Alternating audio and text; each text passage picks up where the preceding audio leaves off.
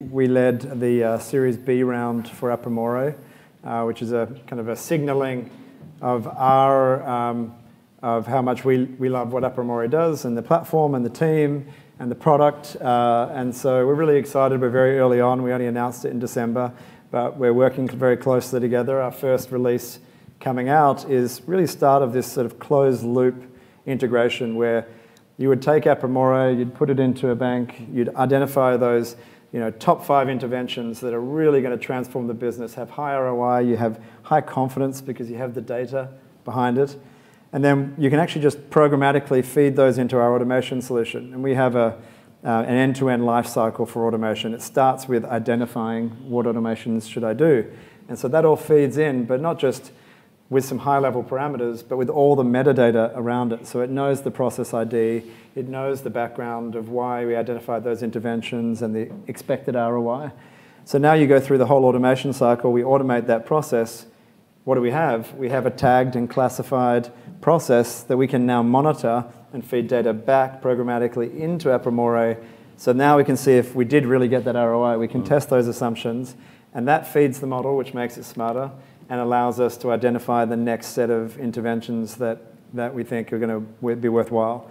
And this, for, for me, is really the articulation of what I shared before, which is right now, automation, all these platforms, high fragmentation, and in the gap between all these systems is all that value that we know is there to be unlocked. And we believe process mining coming together with our automation platform will start to close one of those key silos between figuring out what I need to do, doing it, and then figuring out if I did it. So, so we're really, yeah, we're really excited. For me, process mining is just the next eventual stage in the maturation of the digitization of our economy. Right? We spent the first 20 years going and installing all the software, installing the software for the sales team to run in and for all these processes to run on and for the service teams to use and for the supply chain team to use. And we've been building those things, and it's actually not dissimilar to what uh, has happened in customer data. We just realized, oh my God, we have so much signal. Hmm. We have so much data, so many event logs, so many transactions being thrown off from all this software. We no longer have to guess. Yep. What's, what's, what's slowing us down? We no longer have to guess where we're non-compliant. We no longer have to guess where we're inefficient. We no, no longer need to guess where the customer is getting stuck. It's all there. It's all in the digital record, record, the digital footprint. So what's exciting for us at Salesforce and why we partner with Apromore is it just feels so natural. It just feels like every business is going to have to run in this way to start to pull together all the signal from across their business, start to make sense of it, and build a continuous improvement model on top of that data.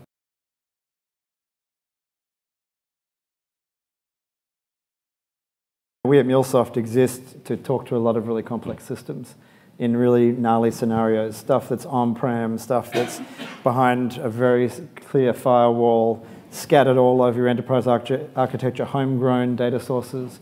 You know, we've always existed to get into those systems and to help people to orchestrate some of these mm. core processes that you were referring to. Um, and so the beauty is for any existing customer, they've already got all of that connectivity. And so we've built an Apromore connector.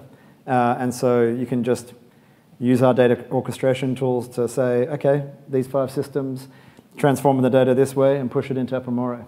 So one of our hopes, at least for shared customers, and we have plenty of them already, uh, is that we will reduce that data engineering time significantly. Because that, I mean, you know that in process mining, that's been the greatest complaint. Has been, it's amazing once you do the many month project Once to got, get got the log. data into where it needs to go. And so we, we think we can accelerate that significantly with MuleSoft. I will say that uh, for the customers that I've spoken to that are Apromore customers, and we, you know, we went through the whole market and saw all the competition before we chose to you know, invest with Apromore, um, we really, really believe that at least part of the problem, so there's data engineering, pure play, like ETL, ELT, get the data where it needs to be. And then there's what do you do with it when the data's in there? And typically with process mining tools, that's also been a complex concern. And then there's what do I do with the data on the other side? There's just three layers of complexity. And uh, so I've shared a little bit of how we think we can help. You know, we have a lot of customers on MuleSoft who have already built a lot of this uh, plumbing. So for them, very fast time to value, try to get the data into Apromore more quickly. What really we loved about Apromore is they have been very focused on a no-code approach to the analysis, uh, to, the, to the analytics, to the simulation. It's all done declaratively through the UI. What's exciting for us at Salesforce and why we partner with Apromore is it just feels so natural. It just feels like every business is going to have to run in this way to start to pull together all the signal from across their business, start make sense of it, and build a continuous improvement model on top of that data. These things used to be project-based, time-based, and now this is a persistent process intelligence engine that really tells you the telemetry of the business at any point in time, and the mind boggles of what we can do with it in the future um, to really run our organization.